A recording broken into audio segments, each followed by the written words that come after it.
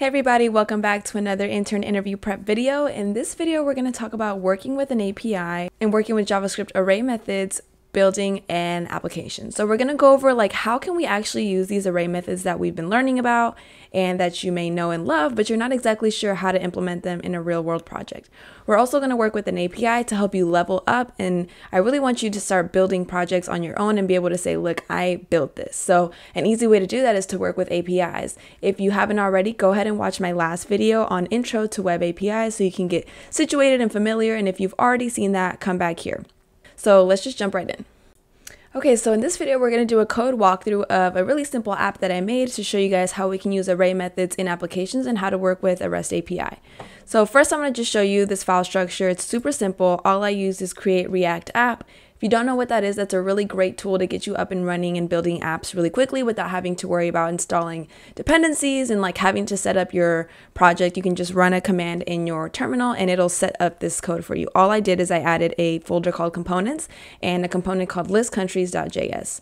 That's all I did. Oh, I also npm installed um, the dependencies for Material UI. In this video, I'm using Material UI just because, like I said, I want to abstract out all of the small stuff like building your UI components and like getting the colors right and making it look pretty so you can just focus on JavaScript and the stuff that you need to really let shine in an interview because when it comes to styling and components, a lot of companies have a library of components, so you're not really to have to worry much about doing that. So let's just jump right into it. So let me just go ahead and run this for you guys so you can see how it works. So what I did is I just went and CD into desktop because that's where my workspace folder is and then I do CD into the actual thing and now I can see that I'm in the right folder and then I'm just going to do npm start. This is going to start up my local server, the development server, and it'll tell you, okay, it's ready now. Okay, cool. So now we have our app running and it's really basic. We're using an API called countries, which gives us information about all of the different countries. And all we're doing is we're displaying the region, country name, country capital, and the population. Additionally, we have these filters at the top that allow the user to filter by region. So if I only want to see European countries, if I only want to see the Americas, if I only want to see polar, if I only want to see Asia, Africa, and reset. So we're going to do a code walkthrough of how we achieve this using the really basic array methods that you should know if you're applying to internships, which are map and filter. And actually, I also want to show you guys Material UI so that you don't get confused and all crazy. So it's just a UI library, and all that means is that they have all these little pieces that you can just use so for example, in components, buttons, instead of you making your own button and having to worry about the CSS and like the hover states and making these cool animations, you can literally just copy this code and paste it into your code and now you have these exact buttons. So it's pretty easy. I'm using that for the UI stuff because I wanted to focus on the JavaScript like I said. So now let's hop back to our app and hop back to our VS Code. Again, all we're doing is one component. We're making this list countries component and then in app.js, we're rendering that component after importing it.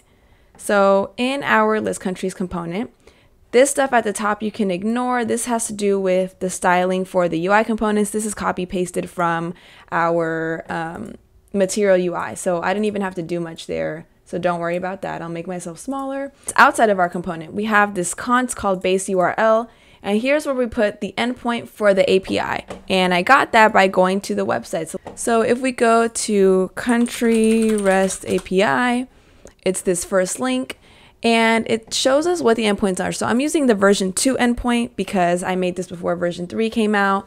And I'll zoom in for you guys, but as you can see, the endpoint is just https restcountries.com slash v2 slash all. Then I also did some filtering because I don't want to get all of these different fields. I only needed population, capital, region, and name. So I did filtering by going here to filter response, filter response, and here it shows you how you can filter. So you can filter by doing question mark, fields, equals, and then the fields that you want separated by commas. So let's go back to our code. So we see here, I just set the base URL and I filtered the field's name, capital, population, and region because that's what I wanted to display in my app. So the first thing that we're doing is we're defining what this list countries component is. So we do export default function, the name of our components, which should start with the capital letter always. And since it's a functional component, we go ahead and do these parentheses and then curly brackets. So now at the top, the first thing I always do is I think about what is the states that I need to keep track of in this component. So in this component, I need to keep track of the countries that are being displayed. And with that, I have to think about the filtering. So what happens when a user clicks Asia? How does it actually filter out all the stuff? So here I define countries and set countries, and this is the use state hook. If you are not sure what this is, go back to my video where it's React interview intern prep. That one I go over in depth how to use this state. So I'm going to assume you know how to use state. Um, set countries and set all countries. And you're going to see why I made that distinction here a little bit below. So I defined a function called get countries, which actually makes the request to our API. The request to our API is made through Axios, and this is something that you're going to have to npm install. You just Google Axios npm install. It's like a you know three word command that you just install directly into your command line, just like we did earlier with um, when we ran npm start. So instead of doing npm start, you just do npm install, whatever the Axios command is. So I make a variable called resp countries, short for response countries, and I say await this fetch. So it's going to do axios.get, and I pass in the base URL this is just the styling and the syntax for it. Don't worry about this. You pass in the base URL.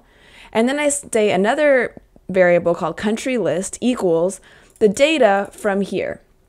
And the reason I do that is because RESP countries is going to come back as a response. And remember, it can have different shapes, it can have nested objects, it can have arrays. And I know what this looks like, and there's something called the dot data property. So let's just actually run this. Let's go ahead and do console.log resp country. So let's see, this is the raw response that we get from the API. So let's just take a look at this. So if we go, if we refresh and then go here and we go to right click inspect and we open up this console, we can see uh, we're looking for something that says resp countries. Resp countries. So here it's an object and in this object, there's a bunch of stuff like config that I don't need that has all this stuff in it. It has this headers that I don't need, requests, all this stuff. But what I do need is what's inside of data. What's inside of data is actually the countries, the capitals, and all that. So that's why for this line, that's why here I said country list is this variable and the dot data property. And we just saw why. Um, so let's dig into this a little bit more. So if we open up our data, it's an array. And in the array, there's 0 to 99 objects. And we know it's an object because if we look at this, it has these curly braces and it has key value pairs. The key is name, the value is Afghanistan, etc. So if we open this up, these are all of the different properties or the different fields that we can use in our app. So if we say dot capital, we're going to get the value of Kabul. If we say dot name, we're going to get Afghanistan. And that's exactly what we're doing in our app, right? So now country list holds our actual country array, our actual country array. And in this array, there's objects. Each object is its own country with all of that data that we requested. Um, I console logged this just to make sure that it was working right, and it is. And then I do set countries and set all countries to country list. So set both of these variables to have all of the countries. Both have the array that contains all of these different objects. Now, a use effect, again, if you don't know this, go check out the other video. When the use effect gets triggered, which is once in the beginning, and because I passed in an empty dependency array, this is only going to get called once in the beginning when this first loads. So the use effect hook call, runs, it actually calls the function that I just defined.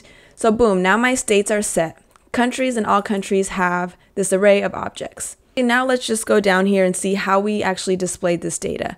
So in after our return statement, so actually what gets painted onto the screen, what gets rendered onto the screen, uh, we did it like this. So we have an outer div.